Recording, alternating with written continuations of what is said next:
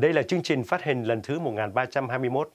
Ngoài phần tin tức, thông báo cộng đồng và bình luận, xin mời quý vị theo dõi những hình ảnh sinh hoạt của cộng đồng người Việt quốc gia tại thủ đô Hoa Tiền Đốn và vùng phụ cận. Sau đây là phần tin chi tiết. Thiên Hoa Tiền Đốn, Tòa Bạch Ốc sáng ngày 28 tháng 9 cho biết chính phủ đã ra lệnh miễn áp dụng các quy định hạn chế các chuyến hàng từ đất liền ra Puerto Rico, giữa lúc đảo này đang đối mặt với hậu quả của trận bão Maria. Người phát ngôn của Tòa Bạch Ốc bà Sarah Sanders viết trên Twitter cho biết là theo yêu cầu của Thống đốc Puerto Rico, ông Ricardo Rossello, Tổng thống Mỹ Donald Trump đã ra lệnh miễn áp dụng đạo luật Jones trong trường hợp Puerto Rico. Lệnh này sẽ gây hiệu lực ngay lập tức. Tối thứ Tư, ông Rossello viết trên trang Twitter về kiến nghị xin tòa Bạch Ốc tạm thời miễn áp dụng đạo luật Jones. Yêu cầu của ông được nhiều nhà luật pháp Mỹ ủng hộ, kể cả Thượng nghị sĩ Marco Rubio của tiểu bang Florida, người đã đến thăm Puerto Rico và vùng đảo thuộc địa của Hoa Kỳ.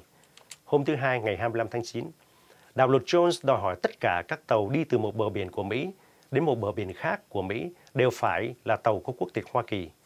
Ngay cả khi không có sẵn tàu Mỹ, các nhà phê bình nói đạo luật này đang làm trì trệ các nỗ lực cứu trợ ở Puerto Rico, nơi người dân đang khẩn thiết cần các vật phẩm cứu trợ trong thời gian sớm nhất nếu có thể. Hôm thứ Ba, ngày 26 tháng 9, Bộ An ninh Nội địa cho rằng việc miễn áp dụng đạo luật Jones cũng không giúp ích gì nhiều cho Puerto Rico vì các hải cảng đều bị hư hại nặng, khiến tàu không thể cập bến.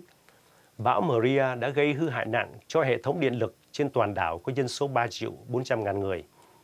Các giới chức dự đoán sẽ mất hơn vài tháng mới có thể khôi phục hoàn toàn hệ thống điện lực tại đây.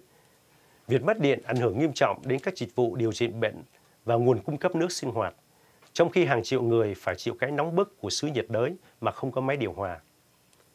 Tổng thống Mỹ Donald Trump thông báo rằng ông sẽ tới Puerto Rico vào ngày thứ Ba tuần sau, gần hai tuần sau khi bão Maria tàn phá hoàn toàn vùng đảo thuộc địa của Mỹ.